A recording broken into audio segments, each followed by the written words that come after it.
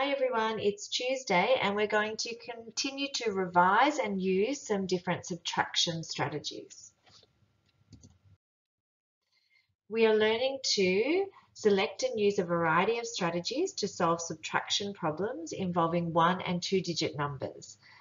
We can solve subtraction problems accurately, check solutions using a different strategy, show strategies and working out, explain or demonstrate how an answer was obtained.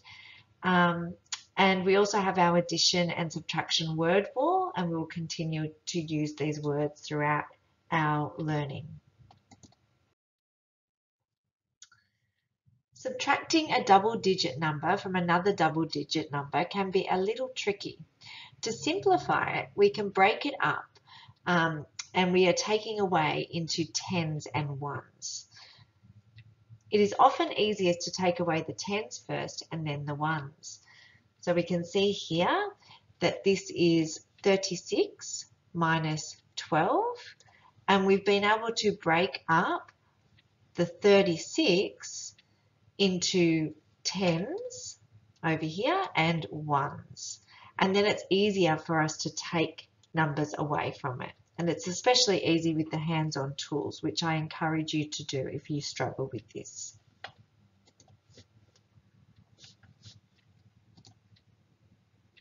Okay, so now 36 minus 12 equals 24. So we can see that by using the hands-on tools it helps and um, it's always easier to break it into tens and ones.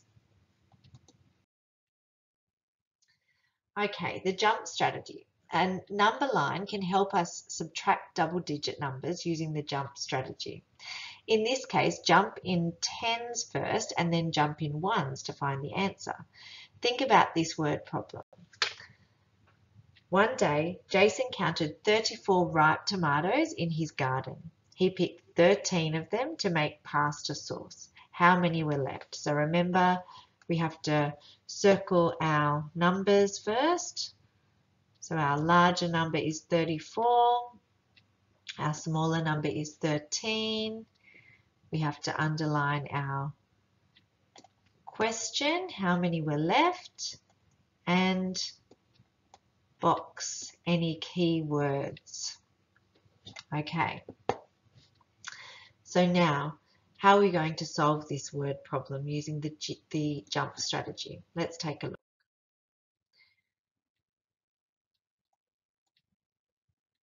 Okay, so first we go to 10. So we go back by 10. 34 minus 10, and then we take three small steps to get to our designated number. So we've taken away 13 now, so 34 minus 13 equals 21. Okay, the split strategy. In its simplest form, the split strategy is the same as the jump strategy. You still split a number into parts and then subtract each part, but no number line is used. There were 31 cars in the car park in the morning. By lunchtime, there were only 16. How many cars were there left? So let's circle our numbers. Underline our question and box our keywords. Okay, let's see if we can use the split strategy to solve this.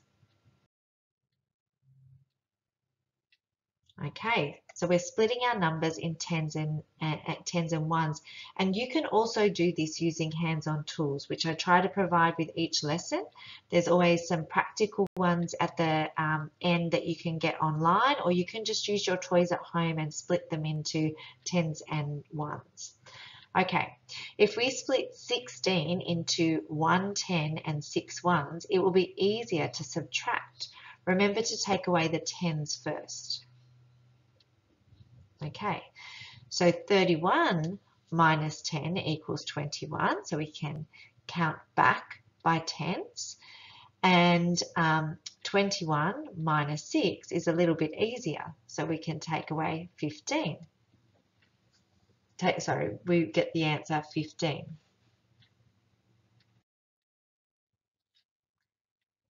Okay, so let's use some hands-on tools to solve this problem.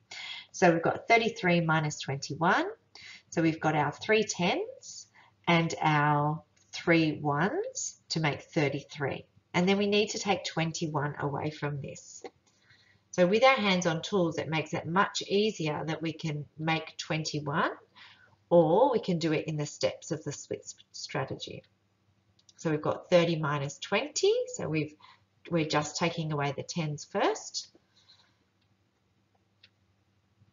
Okay, so then we have 10 left. And then 3 minus 1 equals 2.